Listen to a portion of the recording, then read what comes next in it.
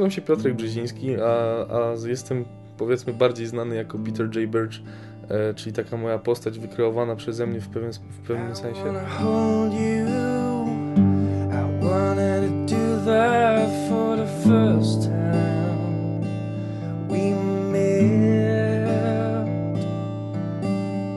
Skąd się wziąłem? Wziąłem się z mojego małego Wołowa, czyli takiego miasteczka na Dolnym Śląsku, niedaleko zresztą Wrocławia.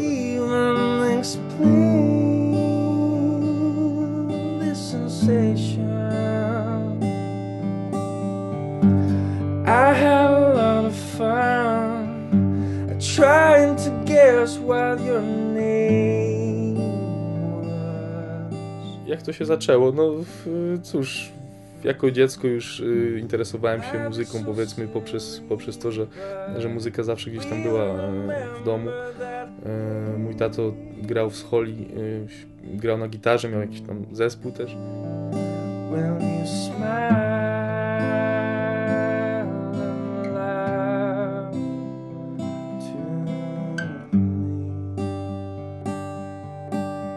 dostałem kiedyś od cioci taki bębenek y, i pamiętam mniej więcej wtedy chyba zaczęło się takie zainteresowanie muzyką.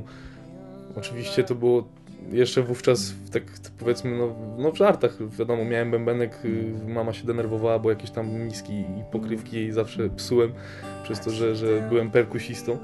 No i w zasadzie rzeczywiście to była taka pierwsza pasja, która, która jeśli chodzi o muzykę, później przeszła, no, że tak powiem, do rzeczywistości, e, czyli, czyli zacząłem się uczyć grać na perkusji, kupiłem pierwsze, pierwsze bębny i, i założyłem zespół i tak dalej, i tak dalej.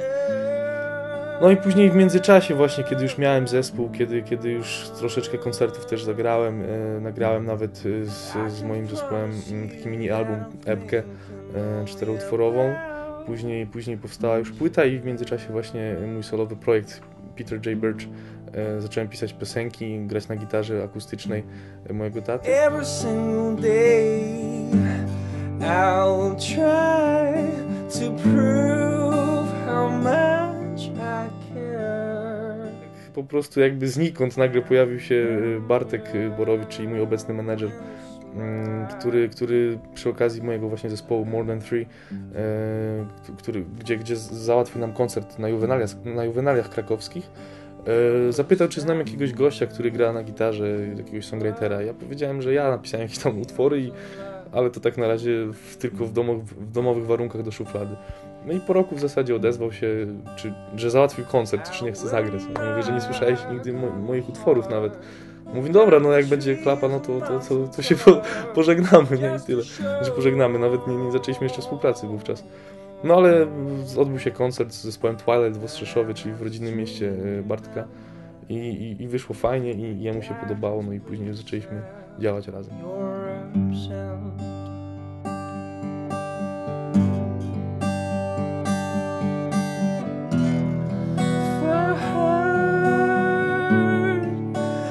tekstów e, na płytę When the Sun's Rising Over the Town, czyli, czyli mojego albumu, który obecnie jest E, promowany, no i wyszedł jeszcze w tym roku, właśnie w styczniu, e, to teksty, no jakoś tam na przestrzeni w zasadzie lat te piosenki powstawały, więc teksty też e,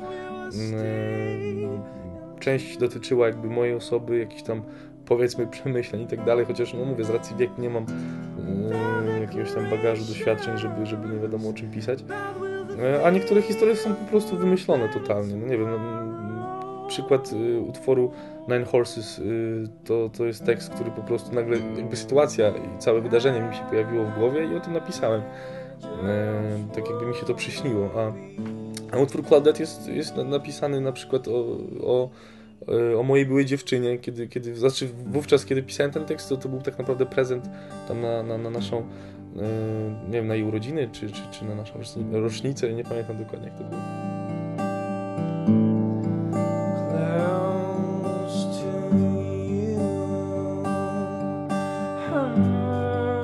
Obejrzy nawet rozmowę, to, tą rozmowę, przeczyta wywiad, posłucha muzyki, wszyscy myślą, a to kurczę, właśnie to, to jest też, też, też zabawne, że, że ostatnio już tak rozmawiam ze znajomymi tak, takimi mniej, mniej, mniej bliskimi i zauważam, że, że ludzie chyba kurczę, myślą, że że to tak wszystko mega, mega kolorowo wygląda, że ja tylko tak naprawdę sobie zagram, yy, gdzieś tam mnie zawiozą wszędzie, w ogóle jest wywiad i hura, w ogóle wszystko, wszystko kolorowo, a nie zawsze tak jest.